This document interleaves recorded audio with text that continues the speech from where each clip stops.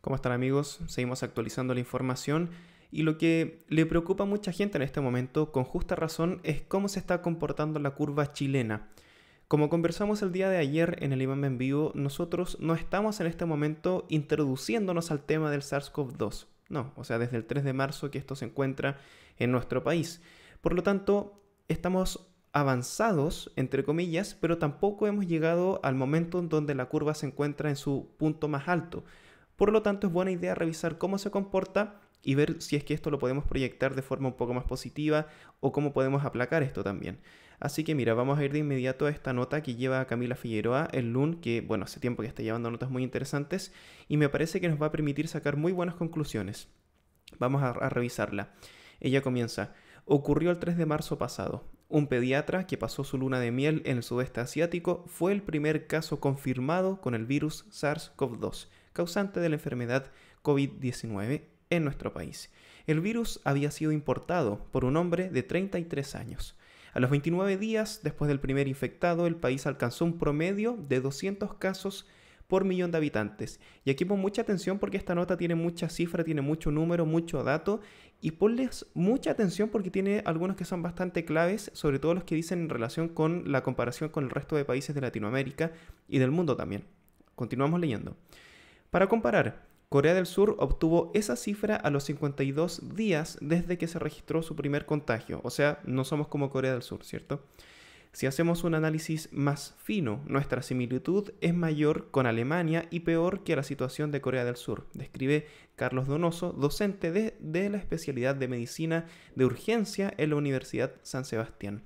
Donoso y su equipo subieron a YouTube un video explicativo sobre la evolución del COVID-19 en Chile las cifras, aclara, son las entregadas por el Ministerio de Salud actualizadas hasta el 2 de abril.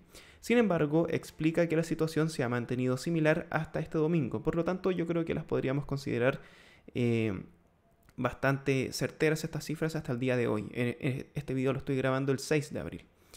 Evaluación a las medidas. Donoso explica que todas las medidas tomadas por el gobierno han servido para disminuir la transmisibilidad de la enfermedad. La pregunta que debemos hacernos es si, si es que esas medidas van a tener un resultado en cuanto a la curva de evolución de la pandemia o no.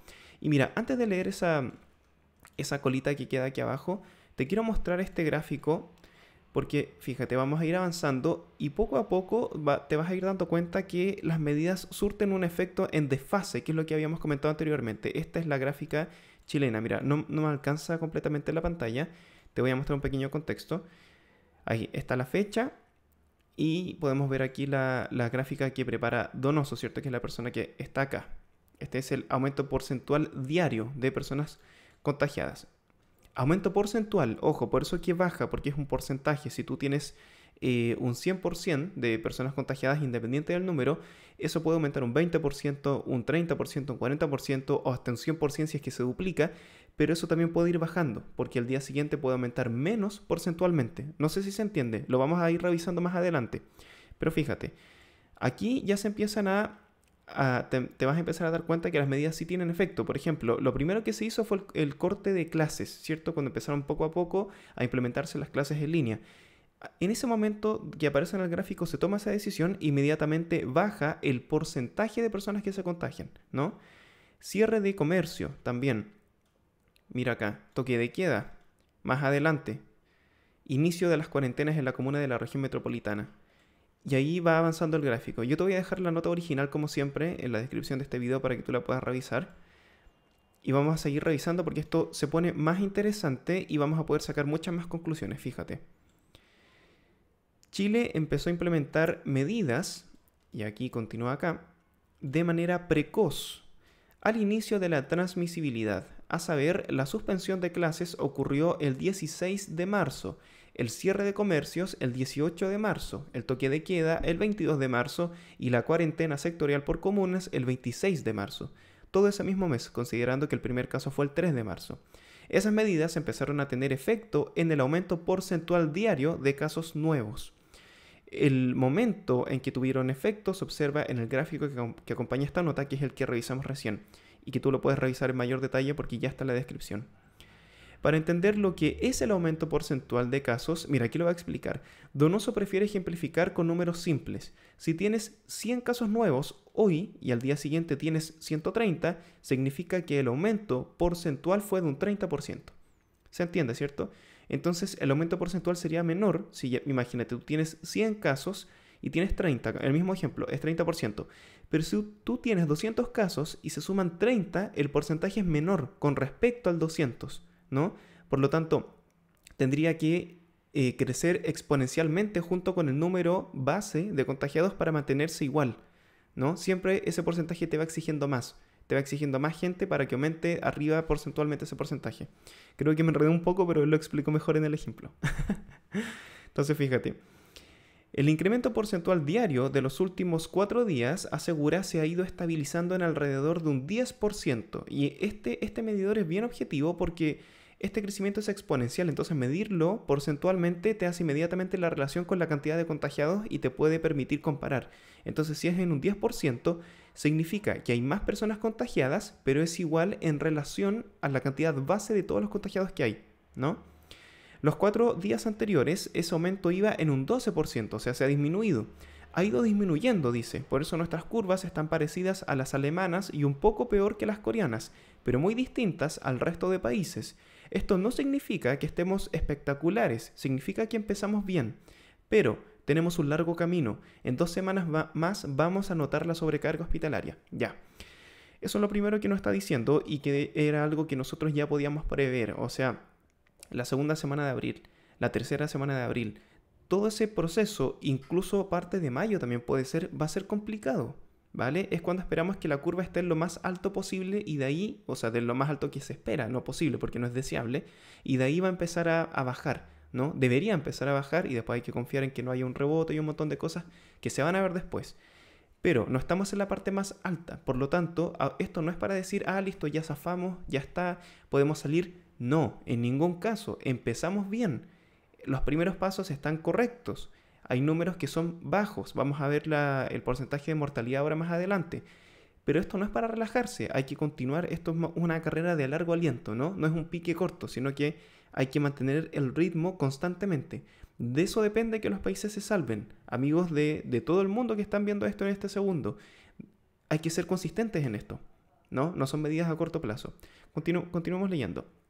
Entonces, tenemos un largo camino, dice. En dos semanas más vamos a notar la sobrecarga hospitalaria. Y eso va a ser así. Verónica Iglesias, directora de la escuela, vamos a seguir leyendo aquí arribita, de Salud Pública de la Universidad de Chile complementa. Lo que se ha logrado con todas las medidas impulsadas es efectivamente disminuir la velocidad de contagio. Esto es clave, esto es una carrera contra el tiempo. Lo que le estamos dando finalmente a los centros de salud es tiempo de reacción. ¿no? Esto es como cuando tu sistema inmune recibe el ataque de un virus. Si es que recibe una carga viral muy grande, puede que no, se pueda esa batalla, ¿no? Y puede perecer en ese proceso.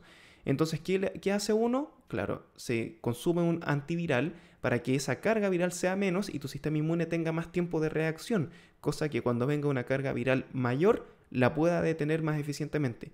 Con esto ocurre lo mismo, estamos dándole tiempo de reacción a los centros de salud para que se equipen, para que consigan las camas, para que consigan los respiradores artificiales para ese 5% que se complica mucho.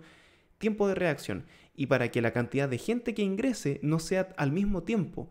Puede ser la misma cantidad de gente, pero en un tiempo, en un periodo mucho más extendido. Esa es la clave, ¿no? Sigamos leyendo impulsadas es efectivamente disminuir la velocidad de contagio, retrasar en un, par de semanas el copamiento de camas con ventilador y permitir que la red de salud se articule y cuente con todos los recursos y organización para enfrentar el pic de demanda. Pero esta epidemia nos va a acompañar hasta que un número importante de la población adquiera inmunidad, ya sea a través de una vacuna o de los contagios.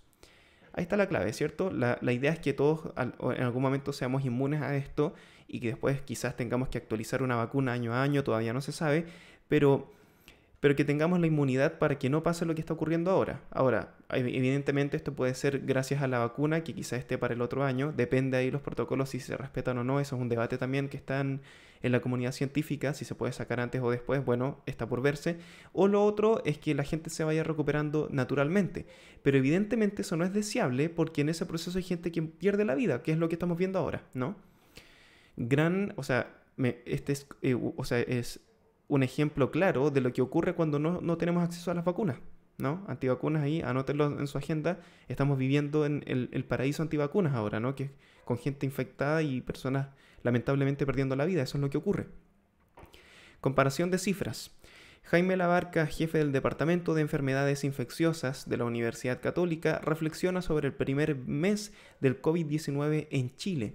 Estamos terminando la primera etapa, que es la instalación de la epidemia. Ya, él lo define inmediatamente con esta palabra, ¿cierto? No estamos en un periodo inicial ya, es la instalación de la epidemia. Lo que podemos concluir es que la letalidad de Chile se ve muy baja comparada con otros países, asegura el investigador del núcleo Milenio para la investigación colaborativa en resistencia antimicrobiana. La Barca prefiere comparar cifras en relación a 100.000 habitantes. Dice que es mejor hacer similitudes con números absolutos. Chile tiene letalidad de 0,09% por cada 100.000 habitantes. Yo había visto otras cifras también, porque en números obviamente uno las puede convertir de diferente manera.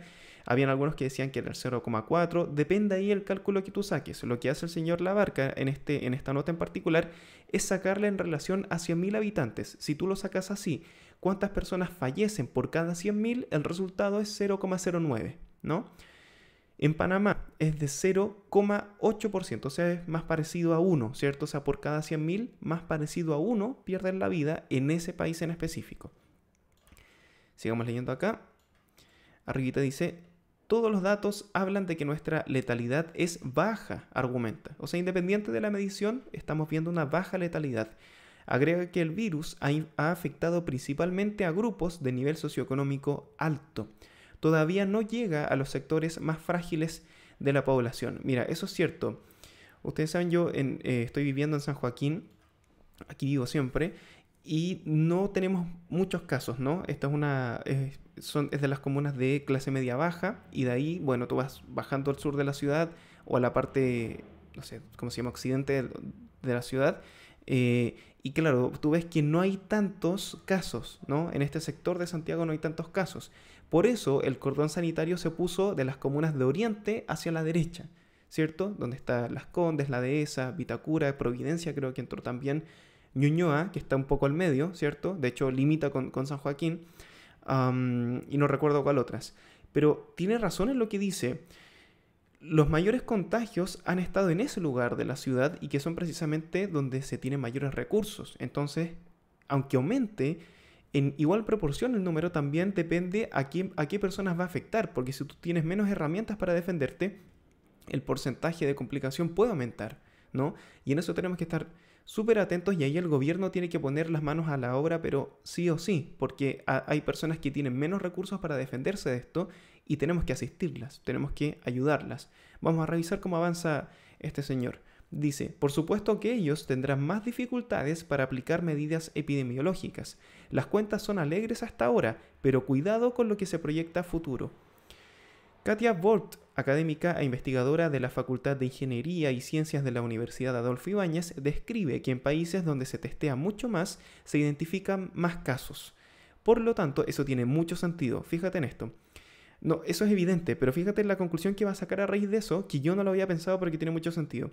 Por lo tanto, el cociente que determina la tasa de letalidad arroja un número más bajo. Y esto es clave. Un país que testea mucho más, obviamente va a tener menos nivel de letalidad. Voy a poner un caso extremo. Imagínate un país imaginario que hizo un test, uno nomás, y esa persona arrojó positivo en SARS-CoV-2. Y esa persona eventualmente fallece. Ponte en esa situación. O sea, el, el porcentaje de letalidad en ese país es del 100% porque tiene un contagiado y tiene un fallecido que es el mismo. Si es que hubiese hecho dos test y tiene dos contagiados y uno se salva y el otro no, el porcentaje de letalidad es del 50%. Por lo tanto, mientras tú más testeas, ese porcentaje más disminuye.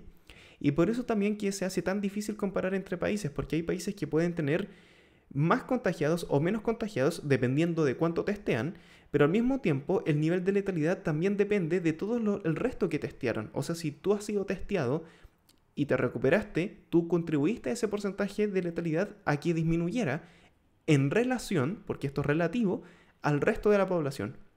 ¿No? Y eso es, em, es clave en el sentido de que no te permite hacer comparaciones tan fidedignas con el resto del mundo. De hecho, yo diría que no te permite hacer grandes comparaciones. Solamente uno podría comparar si es que los testeos son iguales en todas partes, cosa que es imposible. ¿no? Obviamente estamos ignorando esto para poder hacerlo comparativo, pero si uno se pone estrictamente muy riguroso, no podría comparar con ningún otro país. O sea, solamente se podría comparar consigo mismo y ahí obviamente se acaba la comparación, porque si compararse consigo mismo no está comparando con nada. Se entiende, no me estoy dando una vuelta muy larga, pero eh, quiero que lo tengamos 100% claro esto. Por lo tanto, continúa, el cociente que determina la tasa de letalidad arroja un número bajo, ya que tiene un número alto en el denominador. Claro, se divide por mucho más. Ese es el ideal, que los países testeen mucho, así, así indiquen casos graves, leves y mantengan una tasa de letalidad baja. Por eso, que en Chile haya muchos casos confirmados y al mismo tiempo una baja tasa de letalidad, habla bien de la implementación del testeo, de la vigilancia de la enfermedad, del rastreo de enfermos y del funcionamiento del sistema de salud a la fecha. Destaca la doctora en matemáticas de la Universidad Purdue, Purdue perdón, en Estados Unidos. Y aquí con esto finalizamos, dice Vogt. Toda epidemia inicialmente muestra un crecimiento exponencial. Por supuesto, porque es la parte, es el momento en el que estás más vulnerable, ¿no? Cuando ingresa, boom, los números explotan y después se empiezan a controlar cuando tú ya tienes tiempo de reacción. Lo mejor, agrega, es no mantener ese crecimiento. En Chile ahora eso se está logrando, con una cantidad de casos nuevos por día de aproximadamente 300, lo que muestra un comportamiento lineal. Reitero que es crucial ser cautelosos durante los próximos meses. Ok, que sea un comportamiento lineal en un gráfico que no es porcentual dice mucho, porque el nivel de contagiados cuando va aumentando cuesta más disminuir ese número o mantenerlo siquiera. Si tú tienes un contagiado, que sean 300 contagiados al día siguiente es muy poco probable, ¿cierto? Porque esa persona no va a contagiar a muchas personas en, en 24 horas. Pero si tú tienes, no sé, ponte el caso de 5.000 contagiados en un país, que el número nuevo de contagiados sea 300, no es tan difícil. Por lo tanto, que ese crecimiento sea lineal en un gráfico que no es, no es porcentual, o sea, que saca números totales, es desafiante y es complicado, porque tiende a ser, ese crecimiento lo tiende a acompañar. El número de contagiados eh, base con el número de contagiados nuevos tiende a ir juntos. ¿no? Y después cuando estos empiezan a tener inmunidad, evidentemente quien va a empezar a bajar porque no hay más personas a las que contagiar. Pero eso es desafiante. Ahora, si nos vamos a quedar con algo, y como todo hoy en día con temas de, de pandemia, es que no tenemos certeza casi de nada, esa es la verdad. ¿no? Con temas de mascarilla no hay certeza absoluta, porque hay estudios que dicen que sí, hay estudios que dicen que no, y uno los lee y tienen sentido los dos. Y con esto tampoco. No, yo he visto algunos modelos predictivos que me parece que son 100% matemáticos y que está bien porque ellos hacen los modelos predictivos y lo hacen bien, pero dejan afuera muchas otras variables, como lo que estamos hablando ahora, de que esto no ha llegado a las comunas más vulnerables del país. Y eso es importante porque ahí el contagio puede subir también. Por lo tanto, el modelo matemático 100% que, que deja fuera variables epidemiológicas me parece que no son tan acertados. Yo vi uno que hablaba de, no sé, casi que 5 millones de casos.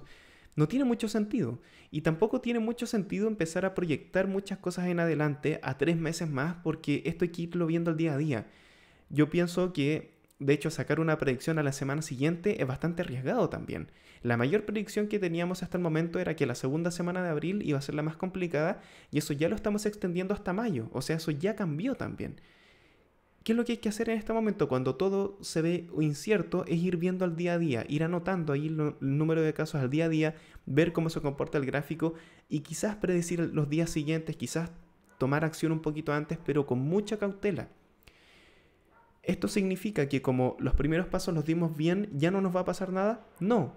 Es posible que pasen muchas cosas, por lo tanto hay que mantener los esfuerzos hasta el final. Es como la carrera, ¿cierto? Si tú estás en, los últimos dos metros, pero avanzaste súper bien, aunque si tú te tiras al piso, igual te pueden sobrepasar, aunque hayas hecho toda la carrera bien. Por lo tanto, hay que mantener el trote constante, ¿vale? Pero bueno, creo que queda claro. que estén bien, cuídense y seguiremos actualizando la información. Cuídense, ya lo dije. Chao.